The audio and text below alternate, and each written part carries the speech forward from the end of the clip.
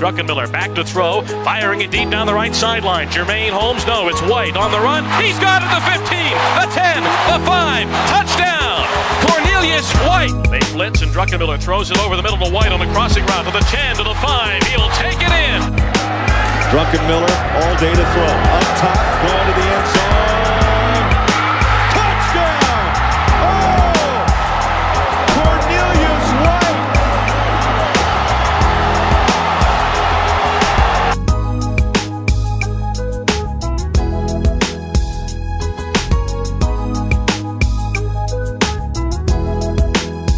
to the end zone for White. Backs up, hangs on, touchdown.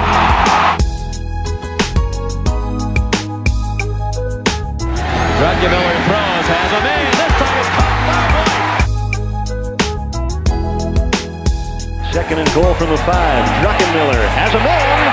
And Virginia Tech has a touchdown to Cornelius White.